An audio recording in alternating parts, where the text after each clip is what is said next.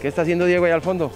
Está cultivando lechuga vera, una variedad de lechuga y que justamente ese es el espacio de la huerta que el hotel tiene para que los niños también aprendan a cultivar. Mire usted la, temática tan interesante que tiene este lugar.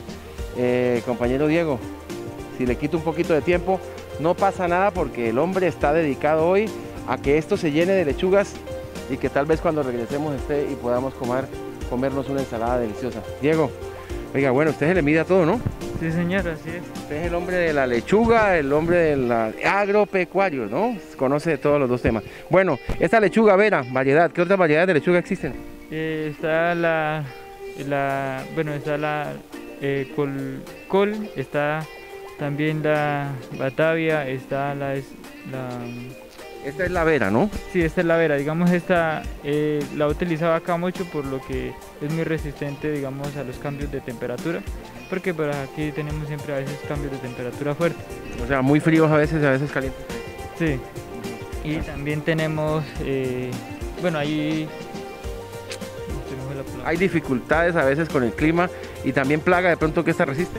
Sí, es digamos más resistente para la plaga y, al clima. Y al clima. Bueno, si yo traigo por ejemplo un niño como José Antonio, digo al niño que, que tenga en mi casa y yo quiera decirle, bueno, mijo, lo voy a llevar a que disfrute los animales, pero también aprenda algo del campo porque esa lechuga que está en la nevera esa lechuga viene del campo y se planta y hay que esperar un tiempo para que produzca.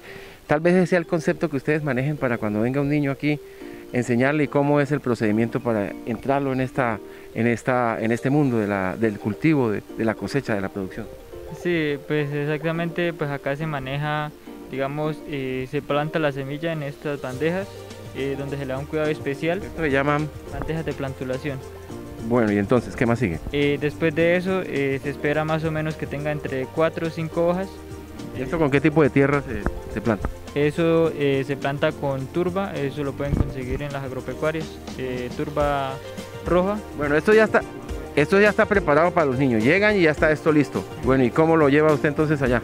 Bueno, entonces después de pasar más o menos el tiempo donde ya tienen las cuatro hojas, eh, se arregla la era donde se va a sembrar eh, se le echa, digamos, gallinaza. Eh, dentro del abono que utilizamos acá, utilizamos la de los caballos, la de los cabros que están aquí en este lugar. Las heces. La de la vaca, sí.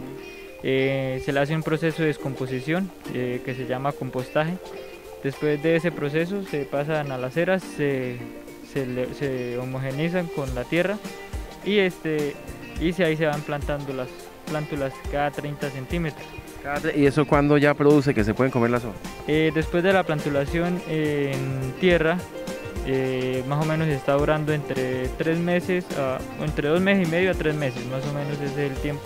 Y ya está lista para la ensalada. Y ya está en apenas para la ensalada. Muy bien, esta es la ricura. Bueno, esto es un procedimiento sencillo, pero para un niño de la ciudad resulta súper interesante. Mire usted todo lo que hemos aprendido.